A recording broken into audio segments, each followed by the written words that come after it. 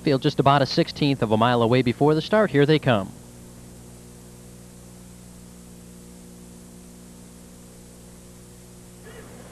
They're off. On the inside, Reno Hill is out sharply for the lead. Ty Cobb Hanover came away well as good. And on the outside, it's Carphone.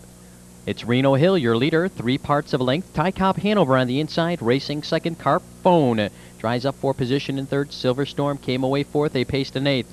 And it's a battle on top now. Reno Hill will get to the top a length. Carphone pressures on the outside second. Ty Cobb Hanover racing in third. In fourth, it's Silver Storm. They roll for the opening quarter, 28 and 1. Carphone now gains the lead, a length and a quarter. Reno Hill back to second. Ty Cobb Hanover's with the leaders in third. Silver Storm racing in fourth. They pace into the three eighths. Now Reno Hill wants the lead back. Reno Hill up quickly to regain the lead. A length as they race for the half. Carphone yields in second. Silver Storm now up quickly to challenge Reno Hill in third. Now second. Silver Storm up to challenge Reno Hill for the lead. The half a quick 57 and 4.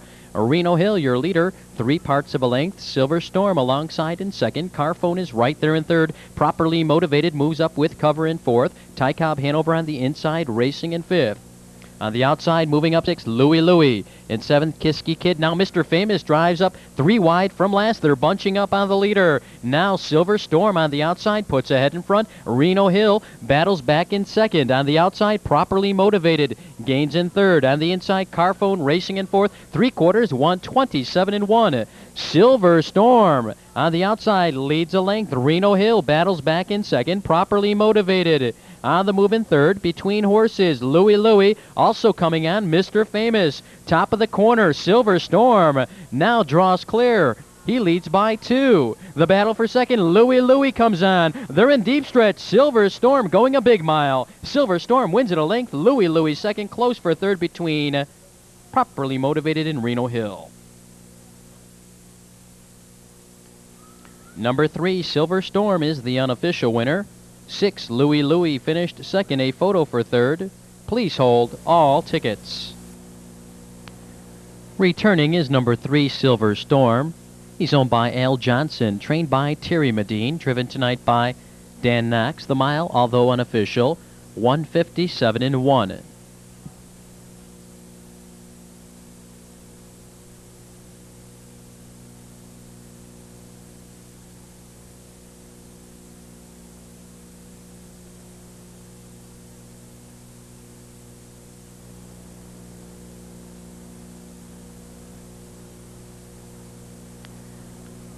Looking at Maywood's ninth race, Perfectas and Trifectas, Ron Marsh drives for Panther Wood.